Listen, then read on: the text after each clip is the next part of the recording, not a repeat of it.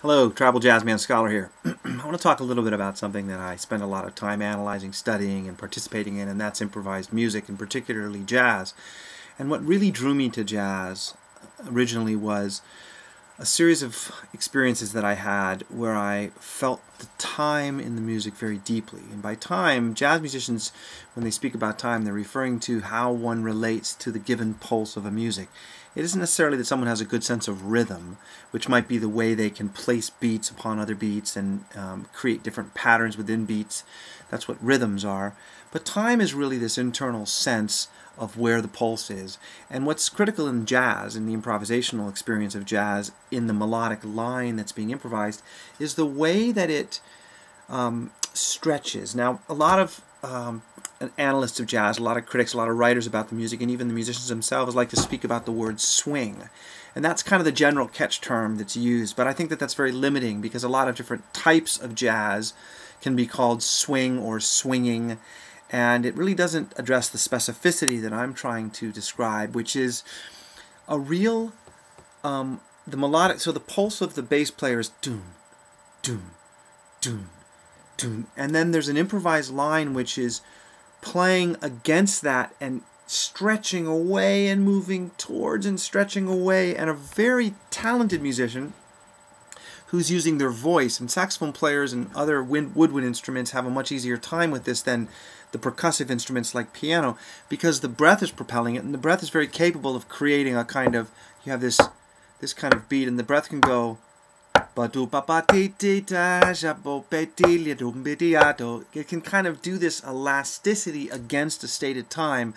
The breath is very organically connected to time. And so to go to a, a percussion instrument with the fingers, it has to be propelled by the voice of the musician. So the voice of the musician has to have translated itself through the fingers of the artist in order to get that feeling.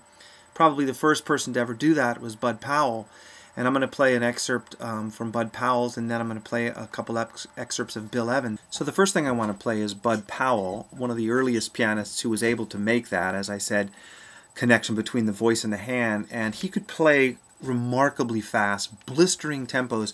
In fact, when you hear it, you can't almost can't hear the swing because it's going so fast. So what I have for you is a short excerpt about nine seconds long um, from Sweet Georgia Brown, recorded in the very early 50s. And Bud Powell's playing this very, very fast eighth note line. And I'm going to slow it down um, to uh, less than half the speed so that you can actually hear the way the lines are swinging in that tempo. So here's Bud Powell with an excerpt from Sweet Georgia Brown.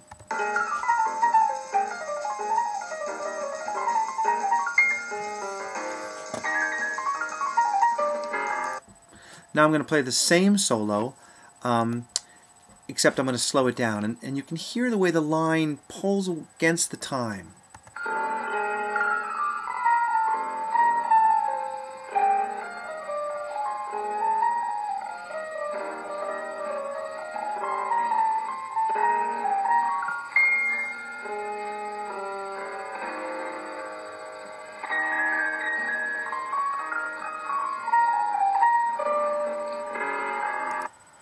Okay, now something that's a little maybe a little easier to hear is a is a later recording from close to 20 years later. This is Bill Evans playing a ballad, and I'll let you hear a, a, rather long, about 25 second excerpt of this ballad, and then I'll show you the, the line that I'd like to reference. I'll play just that line for you, and then I'll have it slowed down, and you should be able to get a feel of this elasticity, the way in which the musician accelerates a line, so it's it's starting out at one tempo, and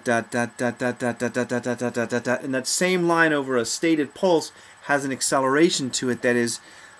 It takes a profound level of control and ability to execute uh, on a pianistic instrument, percussion instrument like a piano. It's it's a very challenging um, thing to do. So I'd like you to hear this Bill Evans excerpt, "Easy Living."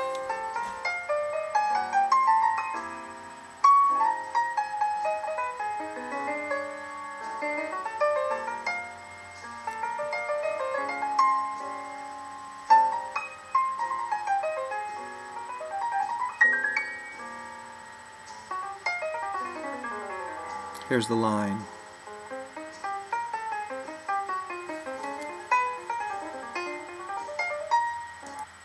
So that last line, let me play that again.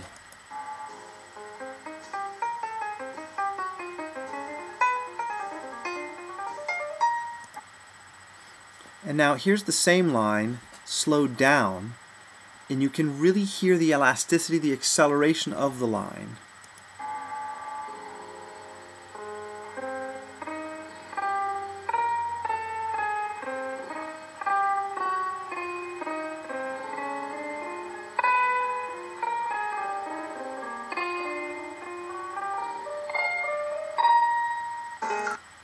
So the number of notes that he's playing increase steadily over time.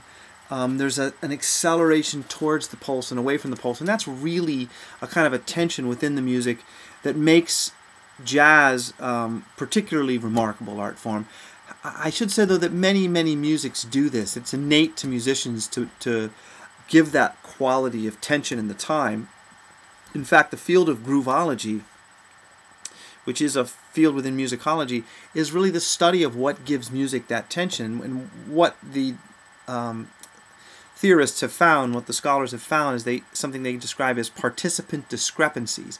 These are differences in the stated time of two musicians. So a drummer and a bass player might have a slightly different pulse from one another that creates a tension. Now this is not an accidental thing, and it's not necessarily a conscious thing, but it has to exist. The musicians have to be very relaxed, and they have to be able to be listening to each other and feeling where the other person's time is, and to pull away from each other and move towards each other in a tension sort of way. And the, one of the only things I can think of that that that relates to that tension is maybe the experience of sailing, where you have the rudder and the boat and the sail and the wind at this angle where there's a pressure created that pushes the boat. Another one might be surfing, um, where there's a the right moment where there's enough tension to push, but not enough to go over the top of the wave or to crash down below the wave. You're right in the tension zone, and that's that's what happens in music with time, is the time creates a tension zone uh, in terms of how fast one person's going versus how fast another person's going, and, and there's a pull and a push against each other. And uh, it's a fascinating thing uh, to, to experience as a listener, and it's a wonderful thing to experience as a player. As I said, though, it's not just jazz, it's not just reserved for jazz musicians, but that's the art form within which the goal is to create that tension. Um, a lot of other musics have that inherently in the most relaxed and talented musicians. And there has to be a tremendous technical facility because any tension in the muscles um, inhibits the experience of time of the artist. And that will come out musically as feeling a little rushed or a little too far behind the beat. So a completely relaxed, relaxed musician can, can execute that level of time awareness. But it, it's, um, it requires technical proficiency as well. So there's this tremendous um, mechanical control in a very relaxed body that allows for the time tension to exist and allows that deep feeling to exist. And like I said, in, in, it can happen in any genre of music, but it requires an artist who's very, very technically skilled and also very relaxed. Um, so that's a brief discussion about time in music and how it creates tension and how it, it creates beauty through that tension. And with that, Tribal Jazzman Scholar will sign off for now. Thanks.